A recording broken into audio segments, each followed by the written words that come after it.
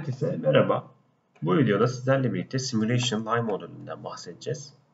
Simulation Live modülü aslında diğer simülasyon araçları gibi düşünebilirsiniz.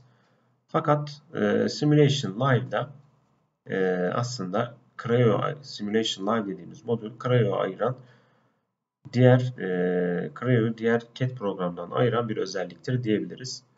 Simulation Live sizin tasarımdaki değişikliklerinize bağlı olarak gerçek zamanlı bir analiz sonucunu e, size sunması en önemli özelliği diyebiliriz.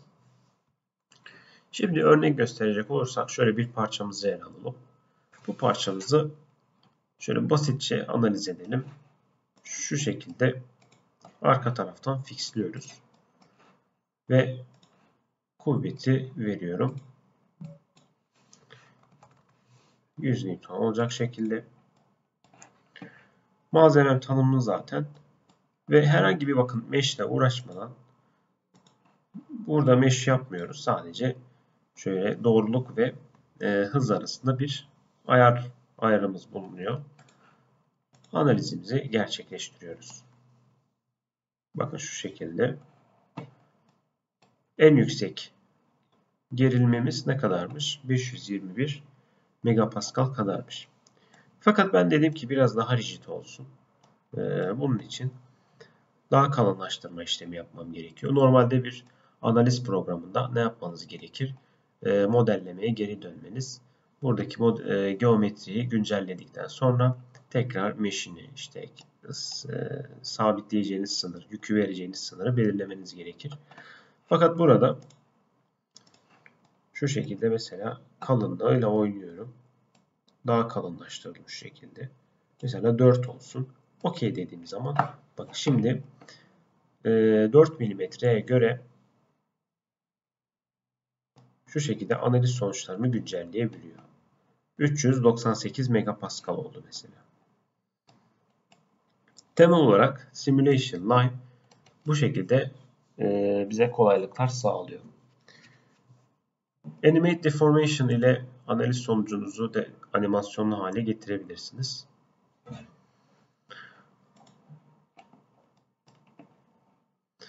Montaj dosyalarınızda ise şöyle bir montaj dosyası ele alalım.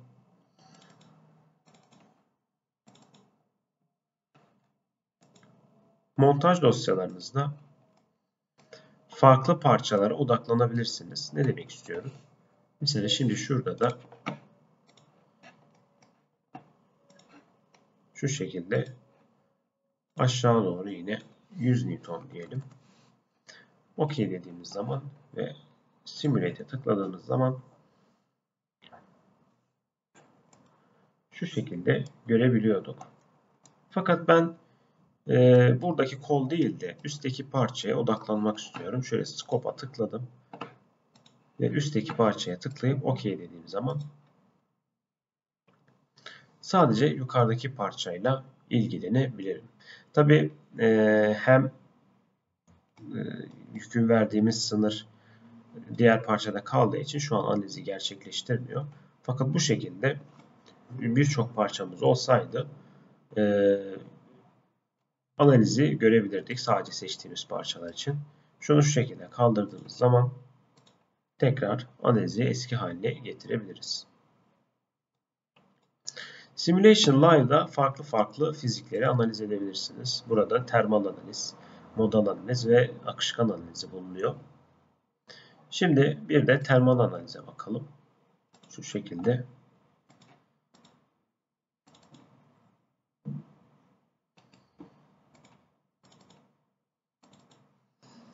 Evet. Şu şekilde bir parçamız mevcut. Bu parçaya Biz ne yapacağız? Şöyle ısı tanımlayacağız aşağıdan. ısı tanımlayacağız. Ve bu ısı neticesinde e, plakaları çıkartacağız. Bakalım ısı dağılımımızda nasıl değişiklikler olacak. Şimdi ilk olarak tabi ben analiz tipimi buradan termale çeviriyorum. Şöyle temperature olarak da şuradaki aslında bütün her yeri seçiyorum. Ve burası için de 75 santigrat diyorum.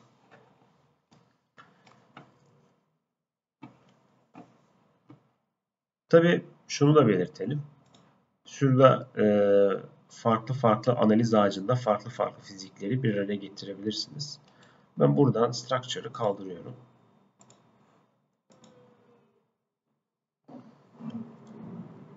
Load veriyorum. Şuralardan da mesela heat flow verelim. Watt diyorum. Burası da 100 watt olsun. Okeydir. Ve şimdi bunu tabi e, malzemesini belirtiyoruz. Şu şekilde çiğliği seçtim. Okey dedim. Ve analizimizi gerçekleştiriyoruz.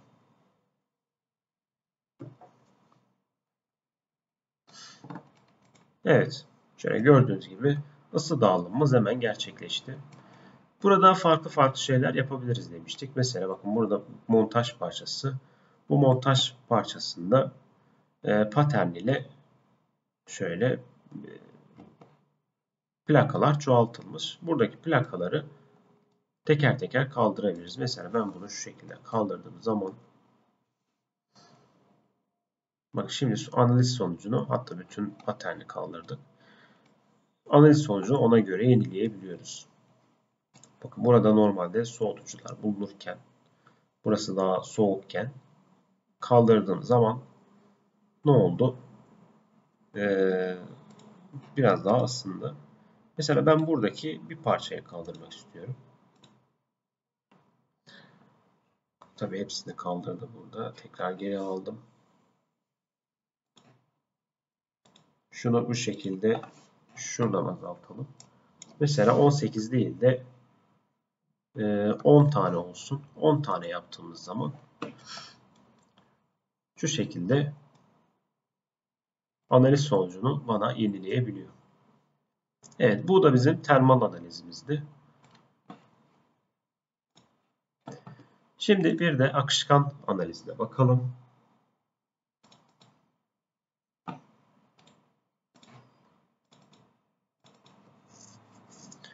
Evet şu şekilde bir vanamız mevcut.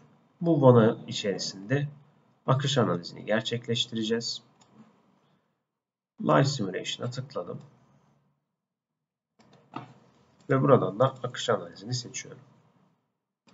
Tabi buradan da Structure'ı buradan siliyorum. Akış hacmini belirteceğim. Buradan açıklıkları ilk olarak seçiyorum. Bakın açıklıkları seçtiğim zaman zaten otomatik olarak iç hacmi yakalıyor.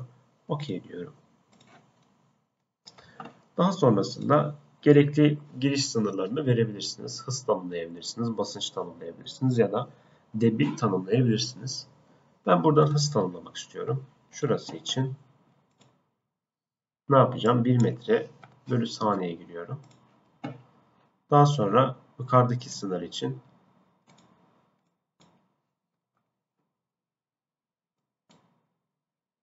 bir metre tabi e, farklı girdik.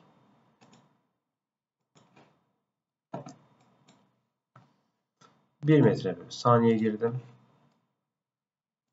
Ve son olarak şuraya da pressure outlet olarak veriyorum. 0 pascal olarak verdim.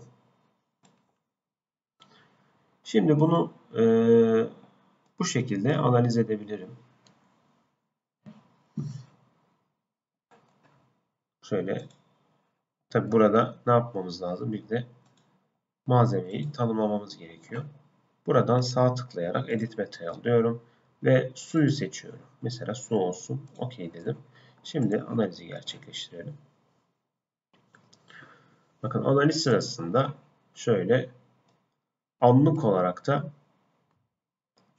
analizin durumunu da görebiliriz. Mesela hatta şuradan bir cut plane alalım. Bak şöyle bir cut plane aldığımız zaman bir kesitteki görüntüsünü görebiliyoruz. Direction field diyorum. Burada da şöyle bir açılırsa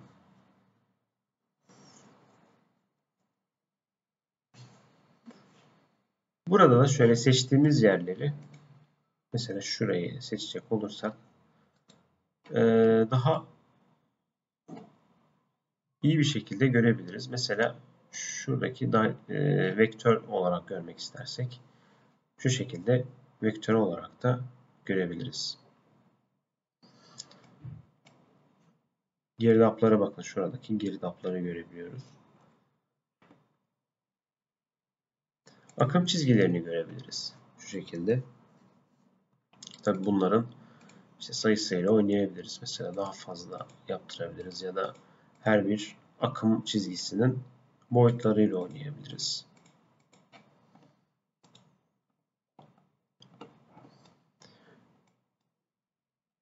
Ya da şöyle şuradaki akışkanlara sıcaklık da verebiliriz. Mesela ben burada geliş için işte derece şeklinde yazalım. 30 santigrat giriyorum. Ve yukarıdaki akış için ise 50 santigrat giriyorum.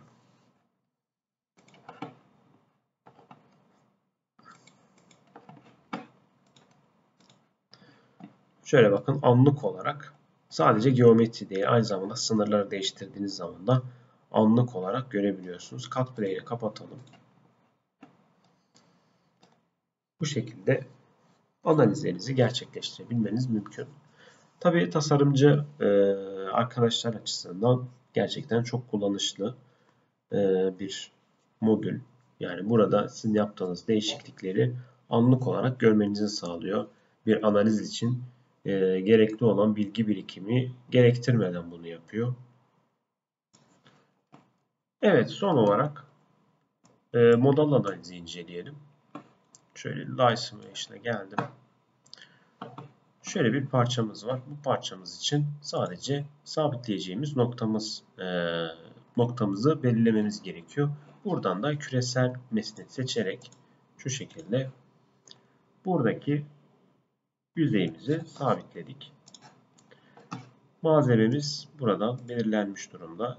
Çelik malzemesi kullanılmış ve artık analiz edebiliriz.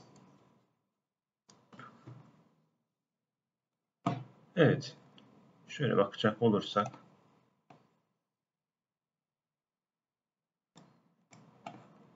altı mod için sonuçlarımız geldi. Birinci modumuzda şöyle Animate Deformation diyerek deformasyon e, animasyonunu görebiliyoruz. Şöyle ikinci mod, üçüncü mod, tabi en yükseği altıncı mod olacak şekilde. Şimdi biz burada değişiklikler yapalım. Mesela buradaki e, çubukların boyunu değiştirelim. Mesela şuradan geldim. Mesela şurayı 30 yapalım. Şimdi OK diyelim. Bakın OK der demez şimdi ona göre tekrar yapacak. Bakın değişti. Şu an yüksek en yüksek modun durumu değişti. Evet. Simulation Live'da e, analiz çeşitlerimiz bu şekildeydi. Bir sonraki videoda görüşmek üzere.